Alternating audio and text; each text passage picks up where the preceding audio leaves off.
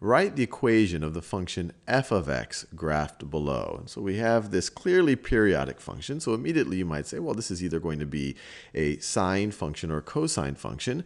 But it, its midline and its amplitude are not just the plain vanilla sine or cosine function.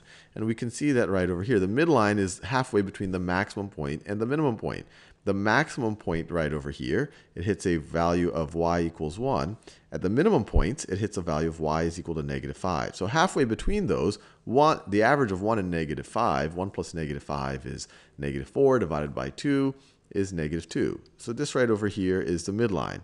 So this thing is clearly, so this is y is equal to negative 2. This is y is equal to negative 2. So it's clearly clearly shifted down. So it's we're, we're going to have, so I'll actually I'll talk in a second about what type of an expression it might be.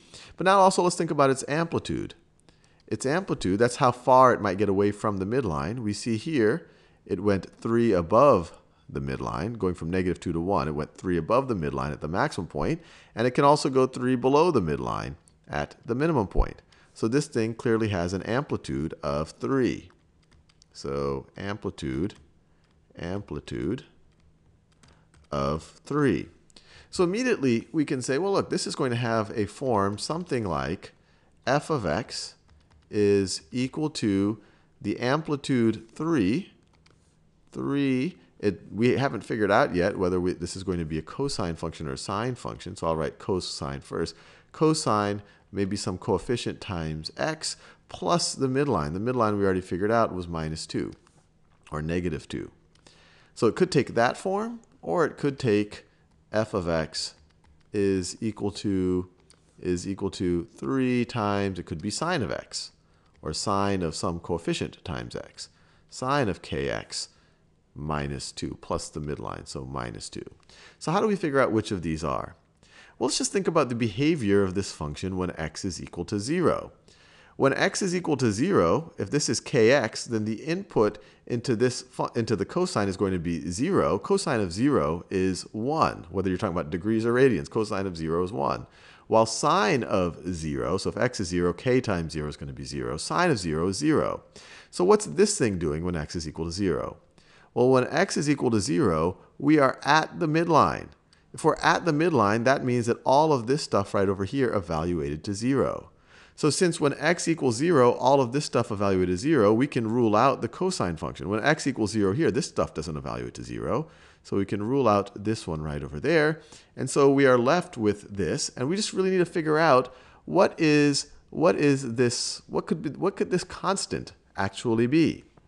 And to think about that, let's look at the period of this, of this function. So to go from, to go from, and we could, we could, let's see, if we went from this point where we intersect the midline, we go this point to intersect the midline, and we have a positive slope. The next point that we do that is right over here. So our period is 8. Our period is 8. So what coefficient could we have here to make a period, make the period of this thing be equal to 8?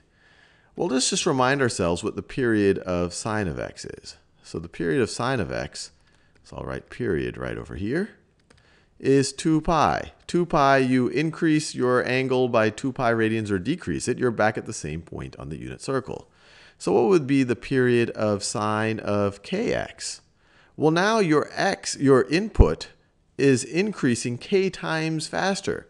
So you're going to get to the same point k times faster. So your period is going to be is going to be one kth as as long. So now your period is going to be 2 pi over k.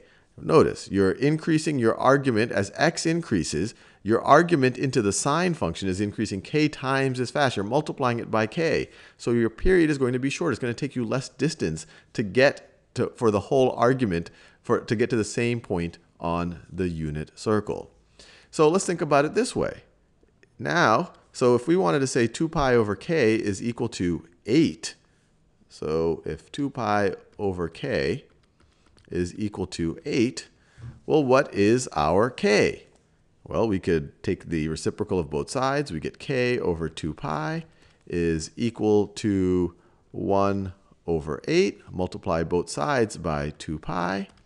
And we get, we get k is equal to, let's see, this is 1, this is 4. k is equal to pi over 4. And we are done. And you can verify that by trying out some of these points right over here. That this function is equal to 3 sine of pi over 4x minus 2.